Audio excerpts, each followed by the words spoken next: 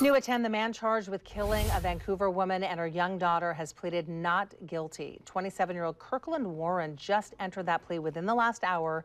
He's charged with murder and other crimes connected to the death of his ex-girlfriend, 27-year-old Michelle Melendez, and her daughter, 7-year-old Layla Stewart. Police found their bodies on March 22nd, days after they were reported missing. Investigators say they'd been shot to death. A funeral for Michelle and Layla is scheduled to happen on Wednesday. Warren is expected back in court next month.